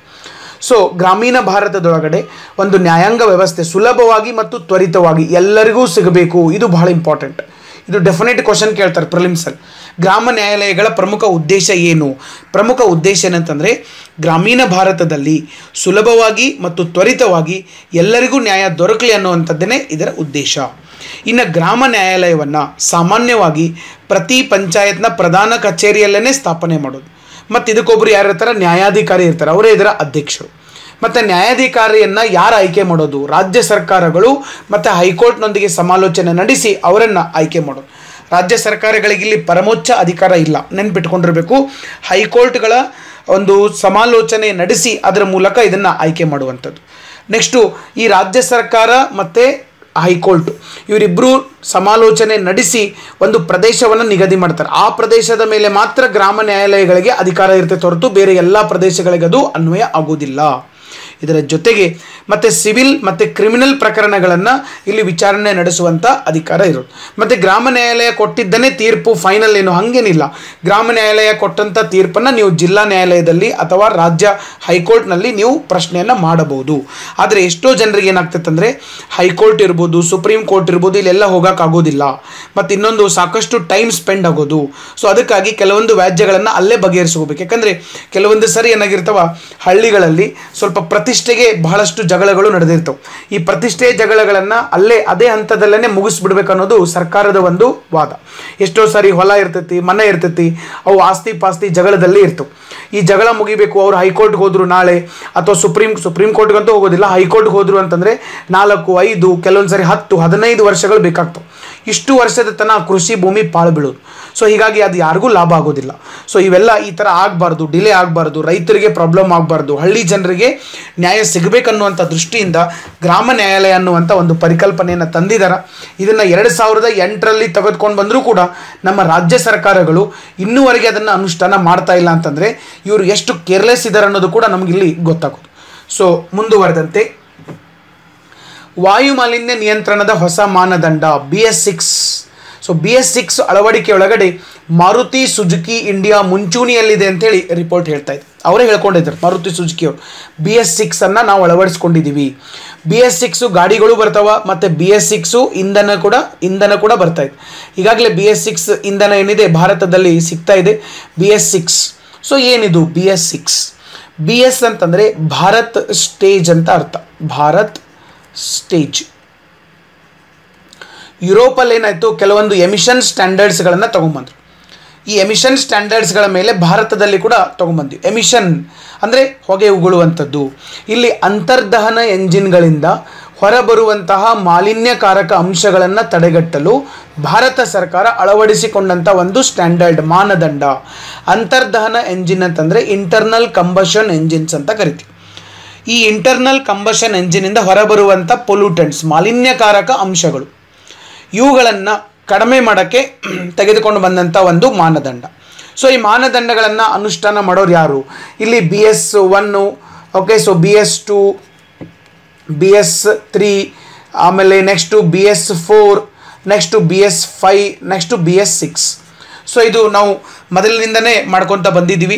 ಯುರೋಪಿನ ಮಾದರಿ ಒಳಗಡೆ ಎರಡು ಸಾವಿರನೇ ಇಶ್ವಿಯಲ್ಲಿ ಇದನ್ನು ನಾವು ಅಳವಡಿಸ್ಕೊಂಡು ಎರಡು ಸಾವಿರನೇ ಇಶ್ವಿಯಿಂದ ಇದು ಶುರುವಾಯಿತು. B S one two three four ಹಿಂಗೆ ಬಂದಿತ್ತು. ಈಗ ಫೋರ್ ಇದ್ದಿದ್ದು ನೆಕ್ಸ್ಟ್ ನಾವು ಫೈಗೆ ಹೋಗಬೇಕಾಗಿತ್ತು. ಬಟ್ ನಮ್ಮ ಕೇಂದ್ರ ಸರ್ಕಾರ ಏನು ಮಾಡಿದ್ರು? ಫೈ ಬೇಡ. ಇನ್ನೂ ಸುಧಾರಿತವಾದಂಥ ಸಿಕ್ಸ್ಗೆ ಹೋಗೋಣ. ಸೊ ಈಗ ಕೆಲವು ಮಂದಿಗೆ ಡೌಟ್ ಬರ್ಬೋದು. ಸರ್ ಬಿ ಎಸ್ ಒನ್ ಮತ್ತು ಟೂ ಇದು ನಂಬರ್ ಹೆಚ್ಚಾದಂಗೆ ಏನು ಬದಲಾವಣೆ ಆಗೋದು? ಈ ನಂಬರ್ ಹೆಚ್ಚಾದಂಗೆ ಎಂಜಿನ್ ಮಾಡೆಲ್ಗಳು ಚೇಂಜ್ ಆಗ್ತವೆ. ಎಂಜಿನ್ ಮಾಡೆಲ್ ಈ ಎಂಜಿನ್ ಮಾಡೆಲ್ ಚೇಂಜ್ ಆಗೋದ್ರಿಂದ ಅಲ್ಲಿರ್ತಕ್ಕಂಥ ಮಾಲಿನ್ಯಕಾರಕಗಳೇನಿದಾವ? ಮಾಲಿನ್ಯಕಾರಕಗಳು. ಅಂದರೆ ಇದರೊಳಗಡೆ ಕಾರ್ಬನ್ ಮೊನಾಕ್ಸೈಡ್ ಇರ್ಬೋದು ಕಾರ್ಬನ್ ಡೈಆಕ್ಸೈಡ್ ಇರ್ಬೋದು ನೈಟ್ರಸ್ ಆಕ್ಸೈಡ್ ಇರ್ಬೋದು ಸಲ್ಫರ್ ಡೈಆಕ್ಸೈಡ್ ಇರ್ಬೋದು, ಇವೆಲ್ಲದರ ಪ್ರಮಾಣ ಏನಾಗ್ತದೆ? ಕಡಿಮೆ ಆಗ್ತದೆ. ಜೀರೋ ಆಗೋದಿಲ್ಲ, ಕಡಿಮೆ ಆಗ್ತಾ ಬರ್ತದೆ. ಸೊ ಬಿ ಎಸ್ ಒನ್ಗಿಂತ ಬಿ ಎಸ್ ಟು ಏನಿದೆ, ಇನ್ನೂ ಸುಧಾರಿತ ಎಂಜಿನ್ ಬಿ ಎಸ್ ಟೂಗಿಂತ ಬಿ ಎಸ್ ತ್ರೀ ಏನಿದೆ, ಇನ್ನೂ ಸುಧಾರಿತ ಎಂಜಿನ್ ಸುಧಾರಿತ ಎಂಜಿನ್ ಅಂತಂದರೆ ಅದು ಹೊರಸೂಸುವಂಥ ಮಾಲಿನ್ಯಕಾರಕಗಳ ಪ್ರಮಾಣ ಕಡಿಮೆ ಆಗ್ತಾ ಬರ್ತದೆ. ಅಂದರೆ ನಾವು ಬಿ ಎಸ್ ಒನ್ನಿಂದ ಬಿ ಎಸ್ ಫೋರ್ ತನ ಪ್ರತಿ ಸರಿ ನಾವು ಏನು ಮಾಡ್ಕೊತ ಬಂದಿದ್ದೀವಿ ಅಂತಂದರೆ ಮಾಲಿನ್ಯಕಾರಕಗಳನ್ನು ಕಡಿಮೆ ಮಾಡುವಂಥ ಎಂಜಿನ್ಗಳನ್ನು ಅಭಿವೃದ್ಧಿಪಡಿಸ್ತಾ ಬಂದಿದ್ದೀವಿ.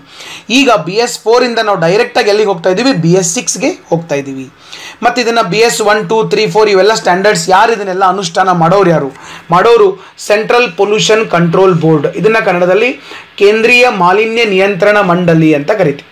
ಇದು ಬರೋದು ಪರಿಸರ, ಅರಣ್ಯ ಮತ್ತು ವಾಯುಗುಣ ಬದಲಾವಣೆ ಪರಿಸರ ಸಚಿವಾಲಯದ ಅಡಿಯೊಳಗಡೆ environment fry forest and climate change ministry ಅಂತ ಕರಿತೀವಿ. ಸೊ ಈ ಬಿ ಎಸ್ ಸಿಕ್ಸ್ ಮಾನದಂಡವನ್ನು ಇದೇ ವರ್ಷ ಏಪ್ರಿಲ್ ಒಂದನೇ ತಾರೀಕು ಎರಡು ಸಾವಿರದ ಇಪ್ಪತ್ತರಿಂದ ಕರೆಕ್ಟಾಗಿ ಜಾರಿ ಮಾಡಲೇಬೇಕಂತೇಳಿ ಸುಪ್ರೀಂ ಕೋರ್ಟ್ ಕೂಡ ಆದೇಶವನ್ನು ಮಾಡಿದರು. ಇಲ್ಲಿವರೆಗೆ ಸುಪ್ರೀಂ ಕೋರ್ಟ್ ಆದೇಶ ಮಾಡ್ತಾ ಇದ್ರು, ಆದರೆ ಕೆಲವೊಂದು ಕಂಪನಿಗಳು ಗೌರ್ಮೆಂಟ್ ಮೇಲೆ ಒತ್ತಡ ಹಾಕ್ತಾ ಹಂಗೆ ಮುಂದೆ ಹಾಕೊಂಡು ಬಂದಿದ್ರು. ಬಟ್ ಈ ಗೌರ್ಮೆಂಟ್ ಹೇಳ್ಬಿಟ್ಟಿದ್ರು, ಏಪ್ರಿಲ್ ಒಂದನೇ ತಾರೀಕು ಎರಡು ಸಾವಿರದ ಇಪ್ಪತ್ತರಿಂದ ಬಿ ಎಸ್ ಫೋರ್ ಹಳೆ ಮಾಡೆಲ್ ಎಂಜಿನ್ ಇರ್ತಕ್ಕಂಥ ಗಾಡಿಗಳನ್ನು ಯಾವುದೇ ಆರ್ ಟಿ ಒದಲ್ಲಿ ರಿಜಿಸ್ಟ್ರೇಷನ್ ಮಾಡೋಂಗಿಲ್ಲ. ಅಕಸ್ಮಾತ್ ಮಾಡಿದ್ರು ಅಂತಂದರೆ ಅವ್ರನ್ನ ಸಸ್ಪೆಂಡ್ ಮಾಡ್ತಾರೆ. ಸೊ ಬಿ ಎಸ್ ಫೋರ್ ಗಾಡಿಗಳನ್ನು, ಹೊಸ ಗಾಡಿಗಳು, ಹಳೇದನ್ನು ಮಾರಬಹುದು second hand third hand but ಹೊಸ ಗಾಡಿಗಳನ್ನು ಆರ್ ಟಿ ಒದಲ್ಲಿ ರಜಿಸ್ಟ್ರೇಷನ್ ಮಾಡಂಗಿಲ್ಲ ಅಂತ ಹೇಳಿದ್ರು. ಅಂದರೆ, ಮುಂದಿನ ದಿನಗಳಲ್ಲಿ ಒಂದು ಒಳ್ಳೆಯ ಸುಧಾರಿತ ಎಂಜಿನ್ ತರುವಲ್ಲಿ ನಮ್ಮ ಸುಪ್ರೀಂ ಕೋರ್ಟ್ ಕೂಡ ಬಹಳ ಪ್ರಮುಖವಾದಂಥ ಒಂದು ಕಠಿಣ ನಿರ್ಧಾರವನ್ನು ತೆಗೆದುಕೊಂಡಿದೆ ಅಂತ ಹೇಳ್ಬೋದು. ಸೊ ಈ ಬಿ ಎಸ್ ಸಿಕ್ಸ್ ಇಂಧನ ಕೂಡ ಇದೆ ಬಟ್ ಬಿ ಎಸ್ ಸಿಕ್ಸು ಇಂಧನ ಈಗಾಗಲೇ ಇಂಡಿಯಾದಲ್ಲಿ ಸಿಗ್ತಾ ಇದೆ. ಬಿ ಎಸ್ ಸಿಕ್ಸ್ ಇಂಧನವನ್ನು ನೀವು ಬಿ ಎಸ್ ಫೋರ್ ಗಾಡಿಯಲ್ಲಿ ಹಾಕ್ಬೋದು, ಏನೂ ಪ್ರಾಬ್ಲಮ್ ಇಲ್ಲ. ಆದರೆ, ಇದು ಅಷ್ಟಾಗಿ ನಮಗೆ ಯೂಸ್ ಆಗೋದಿಲ್ಲ. ಅಷ್ಟಾಗಿ ಮಾಲಿನ್ಯ ಕಡಿಮೆ ಆಗೋದಿಲ್ಲ. ಸ್ವಲ್ಪ ಪ್ರಮಾಣದಲ್ಲಿ ಆಗೋದು. ಆದರೆ ಬಿ ಎಸ್ ಸಿಕ್ಸ್ ಇಂಧನವನ್ನು ಬಿ ಎಸ್ ಸಿಕ್ಸ್ ಗಾಡಿಯಲ್ಲೇ ಹಾಕಿದರೆ ಅದಕ್ಕೆ ತಕ್ಕಂಥ ಎಂಜಿನ್ ಇರೋದ್ರಿಂದ ಇಲ್ಲಿ ವಾಯು ಮಾಲಿನ್ಯದ ಪ್ರಮಾಣ ಬಹಳ ಕಡಿಮೆ ಆಗುವಂಥದ್ದು. ಸೊ ಹೀಗಾಗಿ ನಮ್ಮ ಕೇಂದ್ರ ಸರ್ಕಾರ ವಾಯು ಮಾಲಿನ್ಯ ತಡೆಗಟ್ಟುವ ನಿಟ್ಟಿನಲ್ಲಿ ತೆಗೆದುಕೊಂಡಂಥ ಅನೇಕ ಕ್ರಮಗಳಲ್ಲಿ ಇದು ಕೂಡ ಒಂದಂತೇಳಿ ಹೇಳ್ಬೋದು ಸೊ ಇನ್ನು ಮುಂದುವರೆದಂತೆ ಭಾರತ್ ಸ್ಟೇಜ್ ಟೂ. ಸೊ ಯಾವಾಗ? ಈಗ ಒಂದನೇದಂತೂ ಎರಡು ಸಾವಿರದಲ್ಲಿ ಬಂತು. ಬಿ ಎಸ್ ಟು ಏನಿದೆ? ಎರಡು ಸಾವಿರದ ಐದರಿಂದ ಜಾರಿಗೆ ಬಂತು. ಬಿ ಎಸ್ ತ್ರೀ ಏನಿದೆ ಎರಡು ಸಾವಿರದ ಹತ್ತರಿಂದ ಬಂತು. ಬಿ ಎಸ್ ಫೋರ್ ಏಪ್ರಿಲ್ ಒಂದು ಎರಡು ಸಾವಿರದ ಹದಿನಾರು. ಸೊ ಈಗ ಬಿ ಎಸ್ ಸಿಕ್ಸ್ ಏನಿದೆ, ಇದು ಏಪ್ರಿಲ್ ಎರಡು ಸಾವಿರದ ಇಪ್ಪತ್ತರಿಂದ ಬರ್ತಾ ಇದೆ. ಇವೆಲ್ಲ euro six euro four three ಮಾಡಲಲ್ಲಿ ಯುರೋಪಲ್ಲೂ ಯುರೋಪಲ್ಲಿ ಕೂಡ ಇದೇ ರೀತಿ ಸ್ಟ್ಯಾಂಡರ್ಡ್ಸ್ ಇದಾವೆ. ನಾವು ಭಾರತ್ ಸ್ಟೇಜ್ ಅಂತ ಕರಿತೀವಿ, ಅವರು ಯುರೋ ಅಂತ ಕರೀತಾರೆ. ಸೊ ಯುರೋ ಟೂ ಮಾಡಲಲ್ಲಿ ನಮ್ಮದು ಟೂ ಇದೆ. ಅವ್ರದ್ದು ತ್ರೀ ಮಾಡಲಲ್ಲಿ ನಮ್ಮದು ತ್ರೀ ಇದೆ. ಅವ್ರದ್ದು ಫೋರು ನಮ್ಮದು ಫೋರು ಅವ್ರದ್ದು ಸಿಕ್ಸು ನಮ್ಮದು ಸಿಕ್ಸ್ ಆಲ್ಮೋಸ್ಟ್ ಯುರೋಪಿಯನ್ ಸ್ಟ್ಯಾಂಡರ್ಡನ್ನೇ ನಾವು ಕೂಡ ಮೇಂಟೈನ್ ಮಾಡ್ತಾ ಇದ್ದೀವಿ ಮತ್ತು Delhi is a first city in India to run the B S four fuels so B S four B S six ಇಂಧನಗಳನ್ನು first time ಜಾರಿಗೆ ತಂದಿದ್ದು ದೆಹಲಿ ಒಳಗಡೆ. ಇದರಿಂದ ಇದು ನಡೀತಾ ಇದೆ. ಮತ್ತು ಇಲ್ಲಿ ಕೂಡ ಕೊಟ್ಟಿದ್ದಾರೆ ಡಿಸೈಲ್ ಮತ್ತು ಪೆಟ್ರೋಲಲ್ಲಿ ಬಿ ಎಸ್ ಸಿಕ್ಸ್ ಮತ್ತು B S B S four ಮತ್ತು ಬಿ ಎಸ್ ಸಿಕ್ಸ್ ಯಾವ ರೀತಿ ನಮಗೆ ಬದಲಾವಣೆ ಆಗ್ತಾ ಹೋಗೋದು. ಸೊ ಇಲ್ಲಿ ನಮಗೆ ಸಲ್ಫರ್ ಇಲ್ಲಿ ಪಾರ್ಟ್ಸ್ ಪರ್ ಮಿಲಿಯನ್ ಸಲ್ಫರ್ ನಮಗೆ ಒಂದು ಮಿಲಿಯನ್ಗೆ ಐವತ್ತು ಪಾರ್ಟ್ ಹೊರಗಡೆ ವಾಯುವನ್ನು ಸೇರಿದರೆ ಇಲ್ಲಿ ಬರೀ ಹತ್ತು ಪಾರ್ಟ್ ಸೇರ್ತು. ಅಂದರೆ ನಲವತ್ತು ಪಾರ್ಟ್ ನಾವು ಇಲ್ಲಿ ಏನಾದಂಗಾಯಿತು? ರೆಡ್ಯೂಸ್ ಮಾಡ್ದಂಗೆ ಆಯಿತು ಯುರೋಪಲ್ಲೂ ಕೂಡ ಹತ್ತೇ ಇದೆ. ಇದು ಆಲ್ಮೋಸ್ಟ್ ನಮ್ಮ ಬಿ ಎಸ್ ಸಿಕ್ಸು ಮತ್ತು ಯುರೋ ಸಿಕ್ಸ್ ಎರಡು ಸೇಮ್ ಆಗೇನೆ ವರ್ಕ್ ಆಗ್ತವೆ ಅದನ್ನೇ ಕೂಡ ನಾವು ಇಲ್ಲಿ ಮ್ಯಾಪಲ್ಲಿ ಕೂಡ ನೋಡಿದ್ವಿ. ಅದರ ಜೊತೆಗೆ ಸಲ್ಫರ್ ಕೂಡ ಅದೇ ಥರ ಪೆಟ್ರೋಲಲ್ಲಿ ಇದು ಡಿಸೈಲ್ ಆಯಿತು. ಇನ್ನು ಪೆಟ್ರೋಲಲ್ಲಿ ಕೂಡ ಇಲ್ಲಿ ಐವತ್ತಿದ್ರೆ ಇಲ್ಲಿ ಟೆನ್ ಇದೆ. ನೆಕ್ಸ್ಟು ಲೆಡ್ ಈ ಲೆಡ್ ಏನಿದೆ? ಪಾಯಿಂಟ್ ಜೀರೋ ಜೀರೋ ಫೈ ಇಲ್ಲಿ ನಮಗೆ ಎಮಿಷನ್ ಆತಂದರೆ ಪಾಯಿಂಟ್ ಜೀರೋ ಜೀರೋ ಒನ್ ಅಂದರೆ ಪಾಯಿಂಟ್ ಜೀರೋ ಜೀರೋ ಫೋರ್ ಏನಾಗ್ತದೆ ನಮಗೆ? ಕಡಿಮೆ ಆಗ್ತಾ ಹೋಗೋದು ಸೊ ಈ ರೀತಿ ಇರೋದ್ರಿಂದ ಸೊ ಬಿ ಎಸ್ ಸಿಕ್ಸ್ ಒಂದು ಒಳ್ಳೆಯದು ಸೊ ಇದನ್ನು ಈಗಾಗಲೇ ಭಾರತ ಸರ್ಕಾರ ಮತ್ತು ಸುಪ್ರೀಂ ಕೋರ್ಟ್ ಸಾಕಷ್ಟು ಕಠಿಣ ಕ್ರಮಗಳನ್ನು ತೆಗೆದುಕೊಂಡು ಅದನ್ನು ತರ್ತಾ ಇದ್ದಾರೆ ಸೊ ಆದಷ್ಟು ಕಂಪನಿಗಳು ಕೂಡ ಅದಕ್ಕೆ ಸಹಕಾರ ಮಾಡ್ತಾ ಇದ್ದವು ಕೆಲವೊಂದು ಕಂಪನಿಗಳಂತೂ ಡಿಸೈಲ್ ವೆಹಿಕಲನ್ನು ಉತ್ಪಾದನೆ ಮಾಡೋದನ್ನೇ ಬಿಟ್ಟಿದ್ದಾರೆ. ಎಕ್ಸಾಂಪಲ್ ಮಾರುತಿ. ನೀವು ಕೇಳ್ಬೋದು, ಸರ್, ಯಾಕೆ ಬಿ ಎಸ್ ಸಿಕ್ಸ್ ಬಂದರೆ ಡಿಸೈಲ್ ವೆಹಿಕಲ್ ಯಾಕೆ ಮ್ಯಾನುಫ್ಯಾಕ್ಚರಿಂಗ್ ಮಾಡ್ತಾ ಇಲ್ಲ? ಯಾಕೆ ಮಾಡ್ತಾ ಇಲ್ಲ ಅಂತಂದರೆ ಡಿಸೈಲ್ ವೆಹಿಕಲಲ್ಲಿ ಬಿ ಎಸ್ ಸಿಕ್ಸ್ ಗಾಡಿಗಳನ್ನು ಮಾಡಿದರೆ ಗಾಡಿ ರೇಟು ಜಾಸ್ತಿ ಆಗ್ತವೆ. ಸೊ ಇಷ್ಟು ಗಾಡಿ ರೇಟ್ ಜಾಸ್ತಿ ಆಯಿತು ಅಂತಂದರೆ ಜನ ಅದನ್ನು ಕೊಂಡ್ಕೊಳ್ಳೋದಿಲ್ಲ. ಕಂಪನಿಗಳಿಗೆ ಲಾಭ ಆಗೋದಿಲ್ಲ. ಸೊ ಅದಕ್ಕಾಗಿ ಎಲ್ಲರೂ ಏನು ಮಾಡ್ತಾ ಇದ್ದಾರೆ ಅಂತಂದರೆ ಪೆಟ್ರೋಲ್ ಗಾಡಿಗಳಿಗೇ ಬಿ ಎಸ್ ಸಿಕ್ಸ್ ಎಂಜಿನ್ಗಳನ್ನು ಮಾಡ್ತಾ ಇದ್ದಾರೆ ಹೀಗಾಗಿ ಮುಂದಿನ ದಿನಗಳಲ್ಲಿ ಡಿಸೈಲ್ಗೆ ಡಿಸೈಲ್ ಎಂಜಿನ್ಗಳು ಕಡಿಮೆ ಆಗುವಂಥ ಸಾಧ್ಯತೆಗಳು ಬಹಳ ಇದೆ. ಸೊ ಡಿಸೈಲ್ ಎಂಜಿನ್ಗಳು ಕಡಿಮೆ ಆಯ್ತಂದರೆ ಡಿಸೈಲ್ಗೆ ಬೇಡಿಕೆ ಕಡಿಮೆ ಆಗೋದು. ಆವಾಗ ಡಿಸೈಲ್ ರೇಟ್ ಏನಾಗ್ಬಿಡೋದು ಕಡಿಮೆ ಆಗೋದು. ಈಗಾಗಲೇ ಯಾರ ಕಡೆ ಡಿಸೈಲ್ ಗಾಡಿಗಳಿದಾವೋ ಅವರಿಗೆ ಡಿಸೈಲ್ ಬಹಳ ಕಡಿಮೆ ರೇಟಲ್ಲಿ ಸಿಗೋದು. ಸೊ ಇನ್ನು ಮುಂದುವರೆದಂತೆ ರಾಜ್ಯಗಳಿಗೆ ಎರಡು ಕಂತಿನಲ್ಲಿ ಜಿ ಎಸ್ ಟಿ ಕೊಡ್ತೀವಿ ಅಂತೇಳಿ ಈಗಾಗಲೇ ಅನುರಾಗ್ ಠಾಕೂರ್ ಹೇಳಿದಾರೆ. G S T goods and services tax this is the biggest tax reform in the history of independent India ಸ್ವತಂತ್ರ ಭಾರತದ ಇತಿಹಾಸದಲ್ಲಿ ಆದಂಥ ಅತಿ ದೊಡ್ಡ ತೆರಿಗೆಯ ಬದಲಾವಣೆ ಜಿ ಎಸ್ ಟಿ ಅಂತ ಕರಿತೀವಿ. ಸೊ ಈ ಜಿ ಎಸ್ ಟಿಯ ಒಂದು ಲಾಸನ್ನು ತುಂಬಿಕೊಡೋಕ್ಕೆ ಗೌರ್ಮೆಂಟು ಕೇಂದ್ರ ಸರ್ಕಾರ ರಾಜ್ಯಗಳಿಗೆ ತನ್ನ ಪಾಲನ್ನು ಕೊಡಬೇಕು. ಅದನ್ನು ಎರಡು ಕಂತಿನಲ್ಲಿ ನಾವು ಕೊಡ್ತೀವಿ ಅಂತ ಹೇಳ್ತಾ ಇದ್ದಾರೆ. ಬಟ್ ಅದು ಯಾವ ರೀತಿ ಕೊಡ್ತಾರೆ, ಏನು, ಅದು ನಮಗೆ ಇಂಪಾರ್ಟೆಂಟ್ ಅಲ್ಲ. ಬಟ್ ಜಿ ಎಸ್ ಟಿ ಬಗ್ಗೆ ಒಂದು ಎರಡು ಪಾಯಿಂಟನ್ನು ನಾವು ನೋಡೋಣ. ಬಹಳ ಇಂಪಾರ್ಟೆಂಟ್ ಇದೆ. ಸುಮಾರು ಎರಡು ವರ್ಷಗಳಿಂದ ನ್ಯೂಸಲ್ಲಿರುವಂಥ ಒಂದು ಪಾಯಿಂಟ್ ಇದು. ಸೊ ಇದೊಂದು ಪರೋಕ್ಷ ತೆರಿಗೆ. This is an type of an indirect tax indirect tax ಅಂತಂದರೆ ನಾವು ಟ್ಯಾಕ್ಸನ್ನು ಡೈರೆಕ್ಟಾಗಿ ಗೌರ್ಮೆಂಟ್ಗೆ ತುಂಬೋದಿಲ್ಲ. ಒಬ್ಬರು ವ್ಯಕ್ತಿಗೆ ತುಂಬ್ತೀವಿ. ಸೊ ಆ ವ್ಯಕ್ತಿ ಹೋಗಿ ಗೌರ್ಮೆಂಟ್ಗೆ ತುಂಬೋದು. ನಾವು ಹೋಟೆಲಲ್ಲಿ ಏನಾದರೂ ತಿಂಡಿ ತಿಂದರೆ ತ್ರೀ ಹಂಡ್ರೆಡ್ ರುಪೀಸ್ ಬಿಲ್ ಆದರೆ ಹದಿನೈದು ರೂಪಾಯಿ ಜಿ ಎಸ್ ಟಿ ಈ ಹದಿನೈದು ನಾವು ಹೋಟೆಲ್ ಅವ್ರು ಕೊಡ್ತೀವಿ ಹೋಟೆಲ್ ಅವನು ಗೌರ್ಮೆಂಟಿಗೆ ಕೊಡ್ತಾನೆ. ಹೊಟ್ಟೆ ಗೌರ್ಮೆಂಟಿಗೆ ಕೊಡೋದು ನಾವೇ ಬಟ್ ನಾವು ಡೈರೆಕ್ಟಾಗಿ ಕೊಡೋದಿಲ್ಲ ಇನ್ಡೈರೆಕ್ಟಾಗಿ ಕೊಡ್ತೀವಿ. ಇದಕ್ಕೆ ಏನಂತ ಕರಿತೀವಿ? ಇಂಡೈರೆಕ್ಟ್ ಟೈಪ್ ಆಫ್ ಟ್ಯಾಕ್ಸ್ ಪರೋಕ್ಷ ತೆರಿಗೆ. ಯಾವಾಗಿನಿಂದ ಜಾರಿಗೆ ಬಂತು? ಜುಲೈ ಒಂದು, ಎರಡು ಸಾವಿರದ ಹದಿನೇಳರಿಂದ ಇದು ಜಾರಿಗೆ ಬಂತು.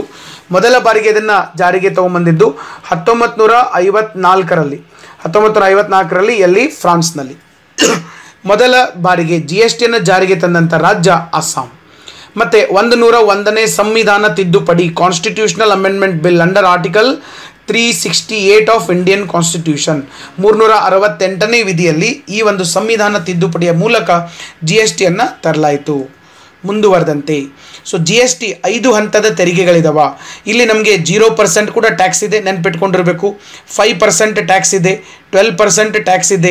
ನೆಕ್ಸ್ಟ್ ನಮಗೆ ಏಯ್ಟೀನ್ ಪರ್ಸೆಂಟ್ ಟ್ಯಾಕ್ಸ್ ಇದೆ ಟ್ವೆಂಟಿ ಏಯ್ಟ್ ಪರ್ಸೆಂಟ್ ಟ್ಯಾಕ್ಸ್ ಕೂಡ ಇನ್ನೂ ಇದೆ. ಇದನ್ನು ತೆಗಿತೀನಿ ಅಂತ ಅರುಣ್ ಜೇಟ್ಲಿ ಹೇಳಿದರು ಬಟ್ ಇನ್ನೂ ಸ್ವಲ್ಪ ಕೆಲವು ವಸ್ತುಗಳಿಗೆ ಲಕ್ಸುರಿಯಸ್ ಪ್ರಾಡಕ್ಟ್ಸ್ಗೆ ಟ್ವೆಂಟಿ ಏಯ್ಟ್ ಪರ್ಸೆಂಟ್ ಇದೆ.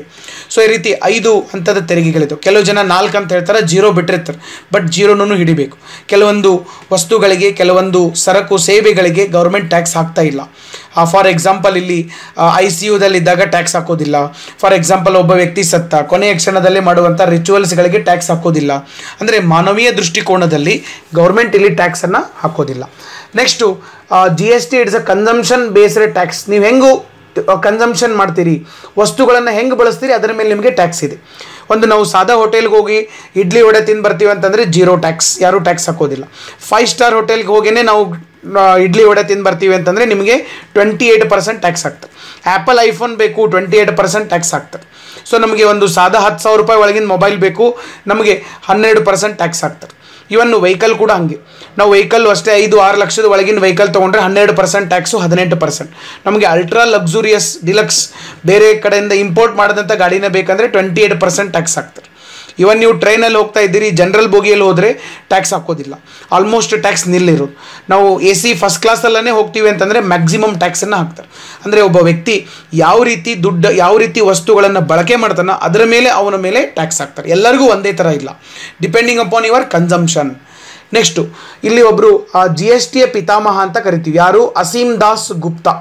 ಅಸೀಮ್ ದಾಸ್ ಗುಪ್ತಾ. ಇವರು former I A S officer retired I A S officer ಇವರು ಮೊದಲಿಗೆ ಭಾರತದೊಳಗಡೆ ಜಿ ಎಸ್ ಟಿ ಹೆಂಗಿರ್ಬೇಕಂತೇಳಿ ಒಂದು ರೂಪುರೇಷೆಯನ್ನು ಕೊಟ್ಟಿದ್ರು. ಅದಕ್ಕಾಗಿ ಇವರನ್ನು ಜಿ ಎಸ್ ಟಿ ಪಿತಾಮಹ father of Indian G S T ಅಂತ ಕರೀತಿ ಮತ್ತು ಇದ್ರ ಜೊತೆಗೆ ಜಿ ಎಸ್ ಟಿಯಿಂದ ಇವತ್ತು ಕೆಲ ಕ್ಷೇತ್ರಗಳನ್ನು ಹೊರಗಿಡಲಾಗಿದೆ. ಇದು ಕೂಡ ನಿಮಗೆ ಕರೆಕ್ಟಾಗಿ ಗೊತ್ತಿರಬೇಕು. ಯಾಕಂದರೆ ಮೊದಲೇದಾಗಿ ನಮ್ಮ ಪೆಟ್ರೋಲಿಯಂ ಕ್ಷೇತ್ರವನ್ನು ಹೊರಗಡೆ ಇಟ್ಟಿದ್ದಾರೆ ಎಲೆಕ್ಟ್ರಿಸಿಟಿ ಹೊರಗಡೆ ಇಟ್ಟಿದ್ದಾರೆ ಆಮೇಲೆ ನೆಕ್ಸ್ಟು ಇದ್ರ ಜೊತೆಗೆ high speed diesel aviation, turbine, fuel so real estate ಈ ಎಲ್ಲ ಕ್ಷೇತ್ರಗಳನ್ನು ಇವತ್ತು ಜಿ ಎಸ್ ಟಿಯಿಂದ ಹೊರಗಡೆ ಇಟ್ಟಿದ್ದಾರೆ. ಇವನು ಹೊರಗಡೆ ಇಟ್ಟರು ಅಂತಂದರೆ ಜನರಿಗೆ ಜಿ ಎಸ್ ಟಿಯ ಲಾಭಗಳು ಸಿಗೋದಿಲ್ಲ. ಆದಷ್ಟು ಬೇಗ ಇವನ್ನ ಒಳಗಡೆ ಇನ್ಕ್ಲೂಡ್ ಮಾಡಬೇಕು. ಫಾರ್ ಎಕ್ಸಾಂಪಲ್ ಪೆಟ್ರೋಲಿಯಂ ಪೆಟ್ರೋಲಿಯಂ ಇವತ್ತು ನಮಗೆ ಜಿ ಎಸ್ ಟಿಯಿಂದ ಹೊರಗಡೆ ಇದೆ. ಹೊರಗಡೆ ಇರೋದು ನಮ್ಗೆ ಅಗದಿ ಓಪನ್ ಆಗಿನೇ ಗೊತ್ತಾಗ್ತೈತೆ. ಯಾಕೆ? One nation one tax G S T tagline ಇರೋದು. ಒಂದು ದೇಶ, ಒಂದು ತೆರಿಗೆ. ಬಟ್ ಪೆಟ್ರೋಲ್ ರೇಟ್ ಒಂದೇ ಇಲ್ಲ. ಕರ್ನಾಟಕದಲ್ಲಿ ರೇಟ ಬೇರೆ ಇದೆ, ತಮಿಳುನಾಡಲ್ಲಿ ರೇಟನ್ನು ಬೇರೆ ಇದೆ, ಕೇರಳದಲ್ಲಿ ರೇಟನ್ನು ಬೇರೆ ಇದೆ. ಸೊ ಯಾಕೆ ಅಂತಂದರೆ, ಆಯಾ ರಾಜ್ಯ ಸರ್ಕಾರಗಳು ವಿಧಿಸುವಂಥ ತೆರಿಗೆಗಳು ಬೇರೆ ಇದಾವ. ಸೊ ಜಿ ಎಸ್ ಟಿ ಒಂದರ ಒಳಗಡೆ ಅಂತಂದರೆ, ಎಲ್ಲ ಕಡೆ ಏಕರೂಪದ ತೆರಿಗೆ ಬರೋದು. ಎಲ್ಲರಿಗೂ ಇದರಿಂದ ಲಾಭ ಆಗ್ತಾ ಹೋಗೋದು. ಸೊ ಅದಕ್ಕಾಗಿ ಇದನ್ನು ಮಾಡಿರಿ ಅಂತೇಳಿ ಜನರ ಡಿಮ್ಯಾಂಡ್ ಕೂಡ ಇದೆ. ಮತ್ತು ಸರ್ಕಾರದ ವರದಿಯ ಪ್ರಕಾರ ಇತ್ತೀಚೆಗೆ ಊಹೆಗೂ ಮೀರಿದಂಥ ಆದಾಯ ಇವತ್ತು ಜಿ ಟಿಯಿಂದ ಬರ್ತಾ ಇದೆ. ಸೊ ಇದಿಷ್ಟು ನಿಮಗೆ ಗೊತ್ತಿರೋಕ್ಕೆ ಸಾಧ್ಯ ಆಗಬೇಕು. G S T it is an umbrella tax ಅಂತ ಕರೀತಾರೆ. ಅಂಬ್ರೆಲ್ಲಾ ಅಂತಂದ್ರೇನು ಇದೇ ಅಂಬ್ರೆಲ್ಲಾ ಇಲ್ಲಿರ್ತಕ್ಕಂಥ ಎಲ್ಲ ರೀತಿಯ tax countervailing tax service tax surcharge additional duties excise ಎಲ್ಲ ಟ್ಯಾಕ್ಸ್ಗಳು VAT entry tax purchase tax luxury ಎಲ್ಲ ಟ್ಯಾಕ್ಸ್ಗಳನ್ನು ಸೇರಿ ಒಂದೇ ಟ್ಯಾಕ್ಸ್ ಮಾಡಿದ್ರೆ that is the G S T so ಈ ಥರ ಸ್ವಲ್ಪ ನೆನ್ಪಿಟ್ಕೊಳ್ಳೋಕೆ ಸಾಧ್ಯ ಆಗಿರಬೇಕು. ವ್ಯಾಟ್ ಕೂಡ ಇದರಲ್ಲೇ ಇದೆ. ಕೆಲವು ಜನ ಹೇಳ್ತಾರೆ, ಸರ್ ವ್ಯಾಟ್ ಈಗಿಲ್ಲ ಈಗ ಬರೀ ಜಿ ಎಸ್ ಟಿ ಇದೆ ಅಂತೇಳಿ ಸೊ ವ್ಯಾಟದ ಮುಂದುವರೆದ ಭಾಗನೇ G S T so VAT only for goods ಇತ್ತು.